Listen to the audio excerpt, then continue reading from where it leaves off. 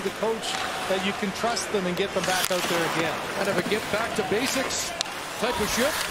Here's Kerfoot in front, scores! John Tavares from Kerfoot as they restore the two-goal lead. And Chris, there's your payoff. You know, as a coach, you got to keep everybody involved. You got to get your bench so you don't lose some guys.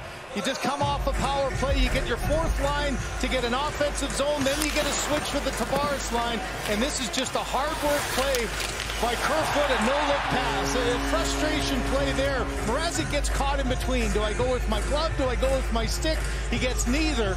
And the one thing you can't do as a goaltender is go the opposite side of the net where the puck is. And that's why. Even if Mrazek making that poor play comes around, he's got his body in way where he might be able to intercept that pass or be in a position to make the save instead. Great pass by Kerfoot, good quick shot by Tavares.